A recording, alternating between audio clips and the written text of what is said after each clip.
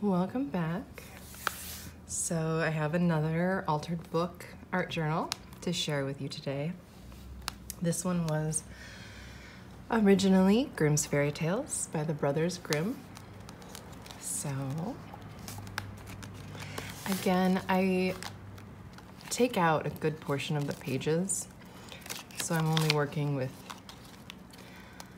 oh, maybe 15 to 20 page spreads and I do gesso the pages first. I generally use matte medium and matte gel as my uh, adhesive. So uh, here we go. This one is, uh, this is a sketch I did when I did uh, 366 uh, drawings because it was a leap year. So I did a sketch every day. Here we have some washi tape. Here we have some pet fur because it gets everywhere. More washi tape. This is part of the original illustration that was on the page. And over here, I found these, I think it was in like a sketchbooking kind of section but it was these uh, like plastic frame sort of things, so they're translucent. I assume they're more for scrapbooking, but I thought that they kind of created a kind of a funky visual and the color matched the washi tape that I added over here. This was an original illustration that I altered with the man's face, the text dastardly. That was a dastardly deed. I don't know any other sentence that the word dastardly uh, would go well in, actually, other than that was a dastardly deed. I have uh, tissue paper that is uh, sewing patterns. So if you've ever done any sort of sewing, you have the, the cutout tissue paper, and that's what this is in the background. Over here, these were some stickers that were little flowers. It was almost a ribbon. Some clock hands. These are actual metal here. I love constellations. I tend to kind of make them up and throw them in a lot of my intuitive art, if you're familiar with my actual painting artwork. When I was living in the Azores, they had these little sugar packets that always had these two little people that kind of look like children, but they're always naked. So I'm gonna assume that they're not children. And it was always like, you know, love means sharing your coffee or I don't know, love means hanging out at a table with a mug and a candle. Uh, I love art history, so the Venus of Willendorf there was uh, another piece I just like throwing in. This was cut out of a children's book, uh, but a children's textbook. Like in elementary school, when you get kind of a, a bunch of short stories in one in one book, we had better run because there's men wrestling in the fields behind us, I guess. I don't know, I tend to work pretty intuitively with my pages, so I don't necessarily have a particular narrative that I'm intending to create. I just kind of let it uh, come out however it, it comes out. This is actually metal, so I have a real key here with some little gears. You can hear that they're metal. The stickers, I like letter stickers. I have a ton of different kinds. I really, uh, I really recommend them if you like adding your own text to, to things, to pages.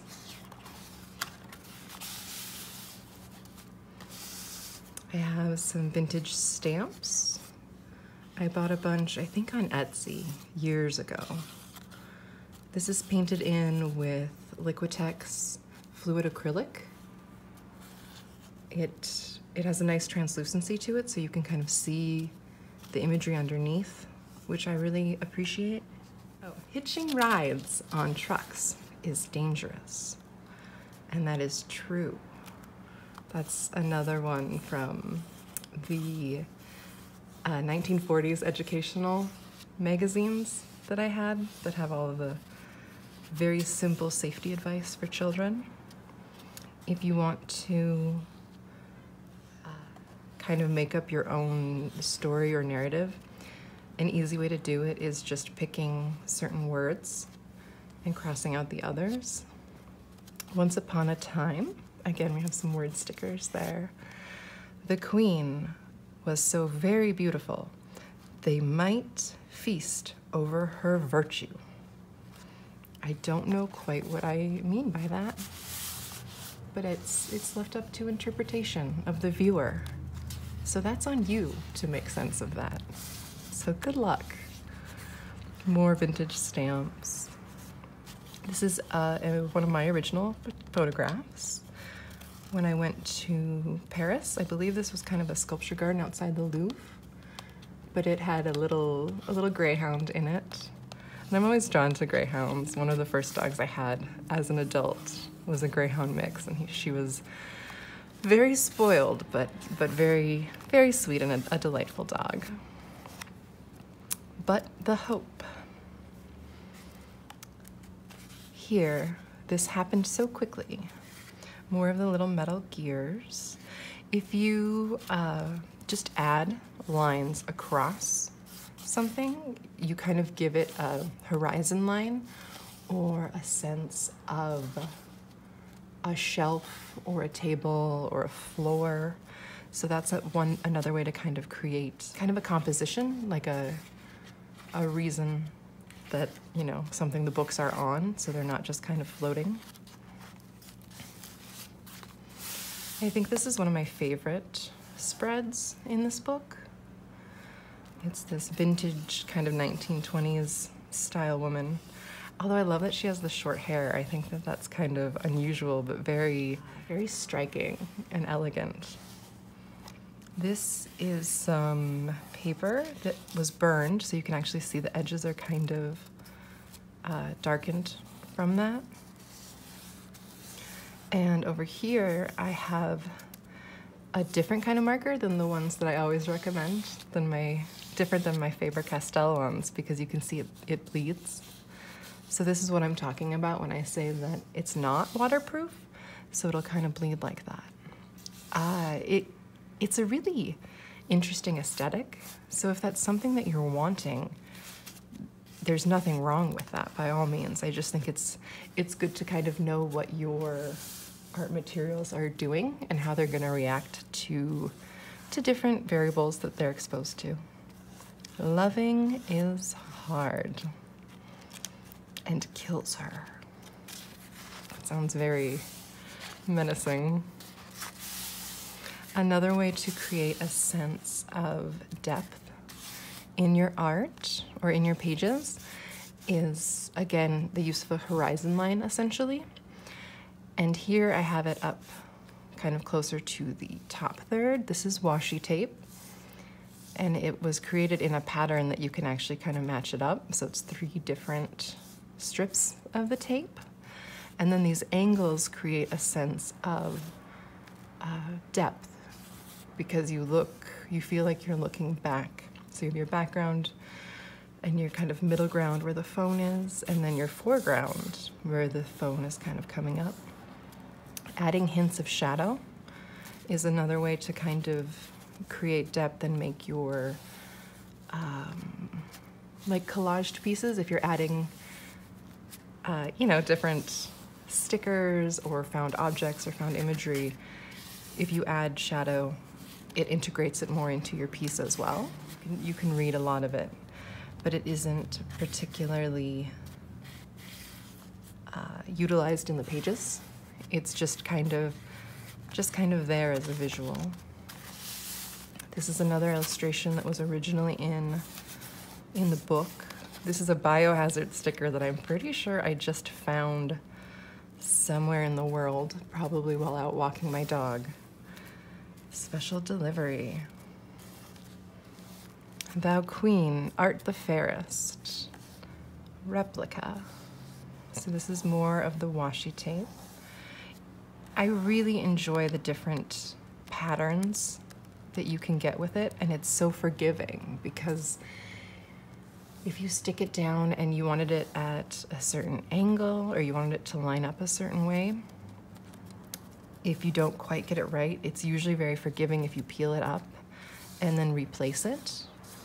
And not everything that's adhesive is quite that forgiving. So that's definitely a plus that washi tape has to offer.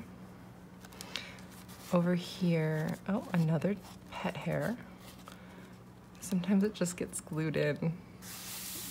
I promise it's not as messy here as that might imply.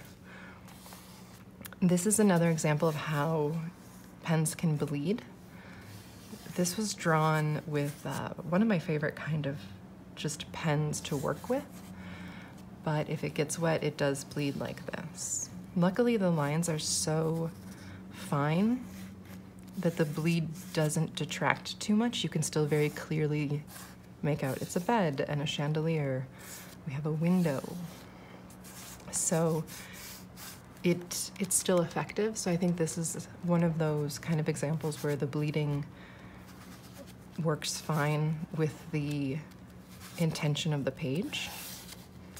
Happily. We have more hearts over here. This is uh, an acrylic ink, so it reacts a little different. It's much more liquidy when you play with it. And then what happened here to get all these little textures is I'll have a lot of the pigment here. You can see the pigment was originally on the heart. And then I used a spray bottle and just lightly sprayed. And then where the color kind of then where I would brush up the color and it would touch those little droplets of, of water that had been sprayed down.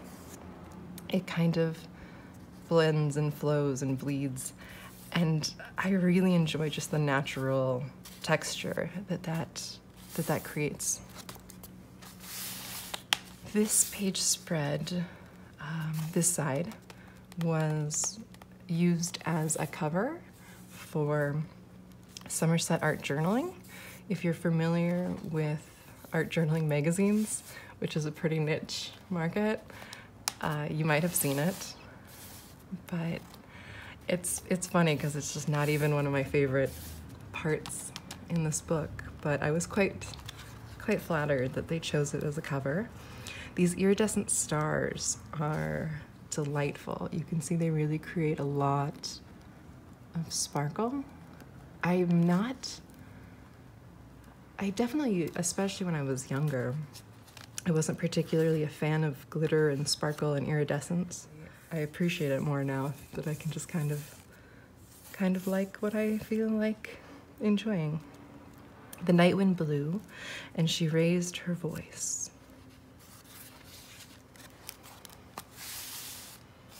This is another type of washi tape here. This is another illustration that was altered by me but did originally start in the book with this kind of soldier face. I think that was a stamp, not a stamp, I think it was a sticker. And this, this was a postcard. It was a vintage postcard I got at an antique shop when I was living in England. These little dragonflies are tissue paper and over here too, you can kind of see the tissue paper is originally this uh, tan taupe, beige kind of color, but I added the teal, I think this is alcohol ink, which does a whole different, different thing. But you can see where the paper kind of tore because tissue paper is very fragile. Another one of the little dragonflies.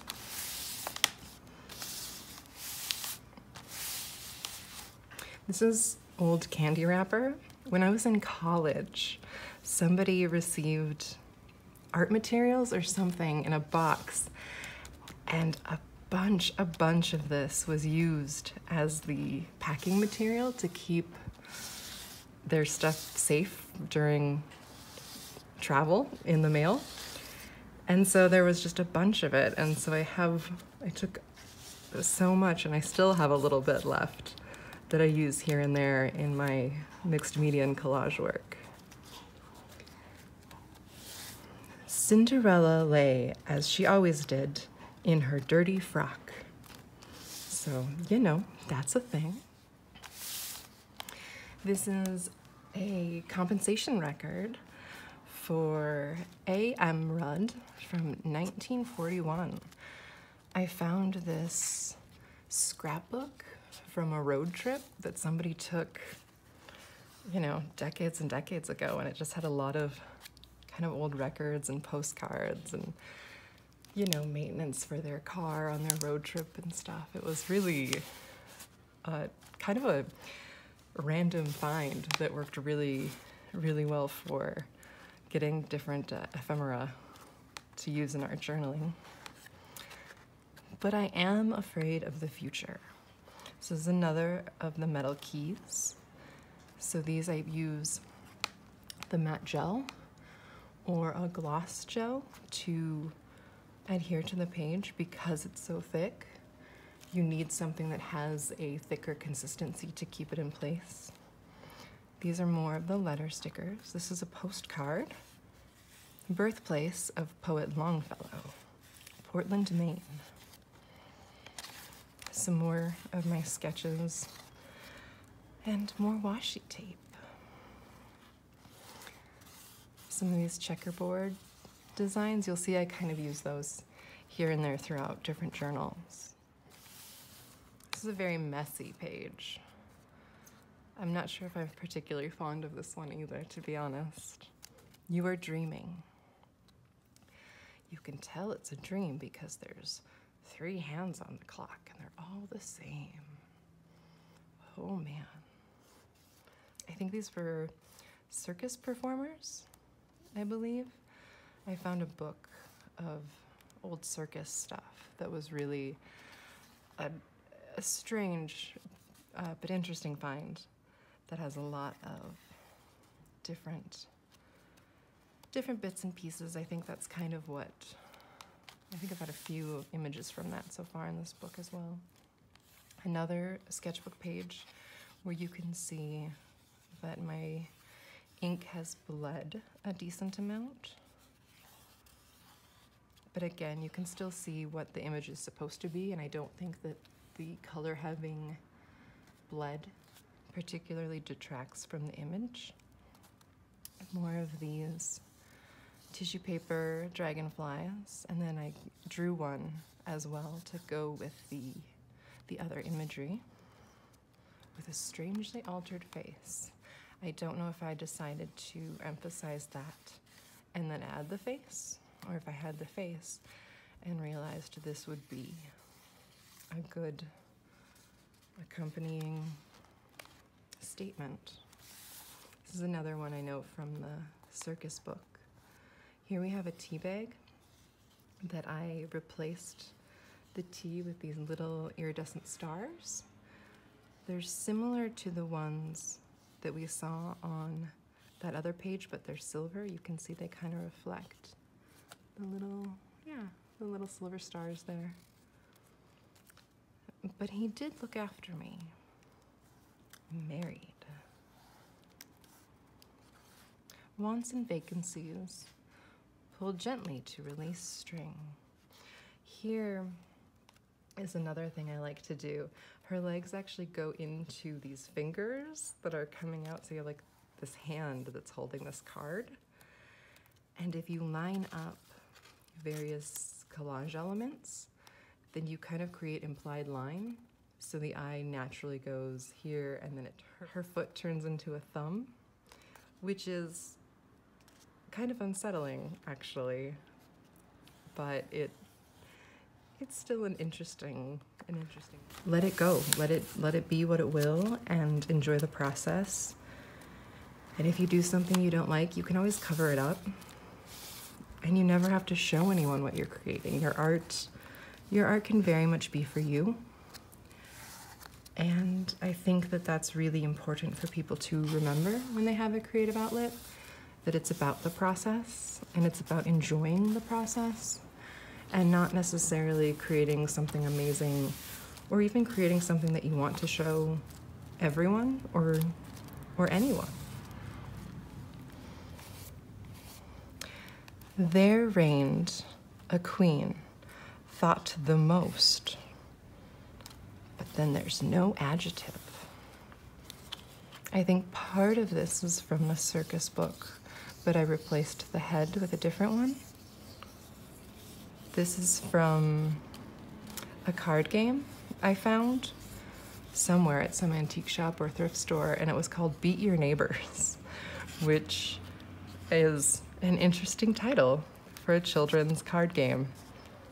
But look at you have your two happy moms with their little babies.